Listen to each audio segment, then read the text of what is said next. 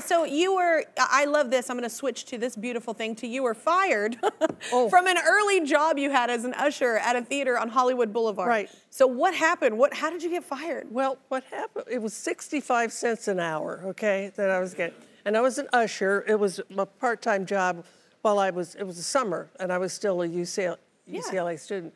And um, we had to wear these funny outfits. Like I had epaulets and a harem pants and a fez a hat and all.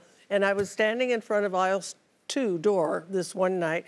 And back then, they would just show the movie over and over and over. So people would come in in the middle of the movie. Yeah, that's what they did that back. It was stupid. Why? Yeah, and then they, and they would sit there and then they'd wait and then they'd watch it and it would start over again. And they say, "Oh, this is where we came in," and then they'd leave. You know. So anyway, Wow. we were showing an Alfred Hitchcock movie. Yeah.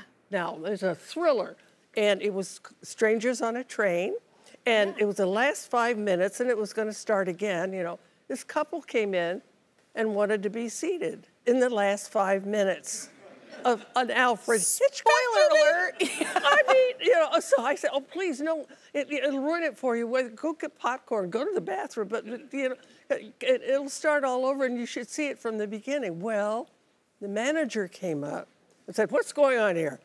And this woman said, "She won't let us sit down." And I said, "But uh, Mr. Batten, that was his name, Mr. Batten, please." It'll, ru-" he said, "Burnett." I said, "Yes." He went. He, literally, he went, and he ripped off my epaulets. and I was fired on the spot. Oh my God. Well, nice, nice ending to this story.